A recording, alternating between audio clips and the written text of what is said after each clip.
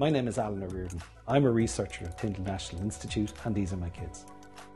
Inspired by John Tyndall's theory of magnetic fields, today we're going to do an experiment based on Lenz's law, making a magnetic force with a simple metal can. My research at Tyndall uses these electromagnetic fields to make very tiny sensors. And these sensors are used to address grand challenges in agriculture and food production, such as detecting diseases in cattle.